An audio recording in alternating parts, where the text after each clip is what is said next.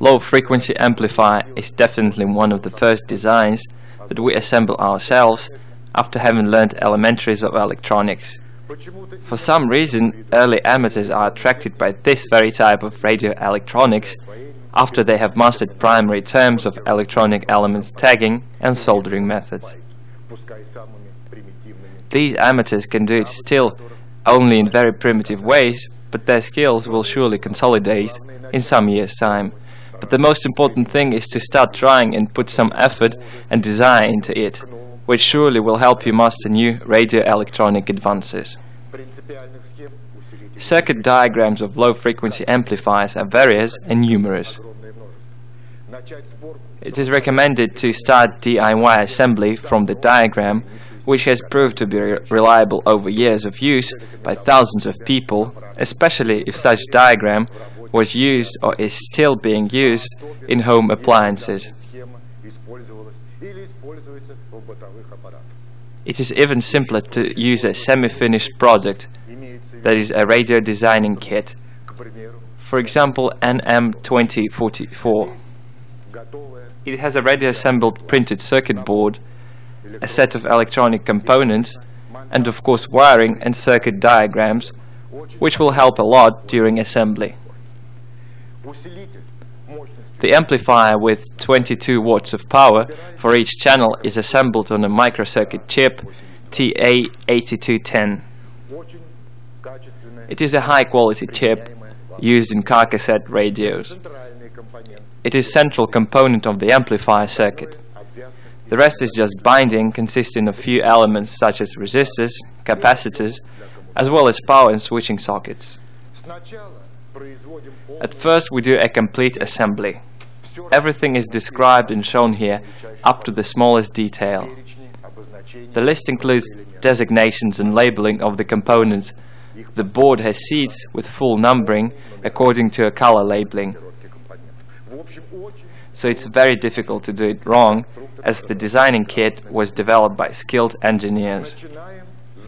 Thus we start the assembly. I recommend to use Flux LTI 120 additionally to the solder, as it will facilitate your work. At first we assemble the small circuit components. We solder them strictly according to the diagram. Resistors are soldered according to color labeling, while capacitors go according to a digital labeling. We should mind polarity designated on the board. Then we do the sockets. And finally the microchip. Be careful not to overheat its leads and don't be stingy with rosin and flux. Don't be afraid of the mess on the printed circuit board as it will be washed off later. For its cooling, the microchip is designed to work with the heatsink or it is mounted onto the amplifier frame through a mica spacer. Make sure your soldering is clean after washing off the extra rosin from the assembly side. I usually use gasoline for this.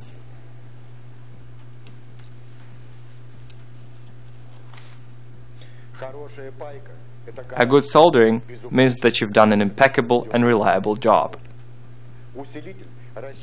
The amplifier is designed for the operating voltage from 7 to 15 volts.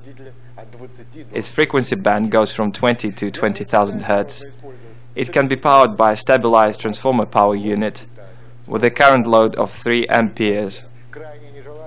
It is highly recommended to avoid using switched power supply. For load use acoustic systems with at least 4 ohms of resistance. Now let's see how the amplifier is connected and how it operates. Power supply voltage is connected to a stuff socket. Don't forget about the correct polarity. This is indicated on a printed circuit board, that is plus VCC is power. An installed LED light will inform you of a correct connection. SW1 switch is used for restricting acoustic power.